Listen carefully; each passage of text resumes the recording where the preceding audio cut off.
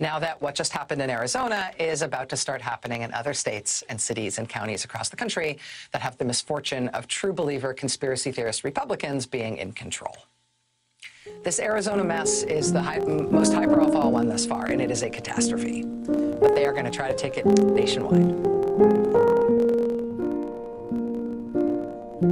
All around me are familiar faces, worn out places, worn out faces, bright and early for the daily.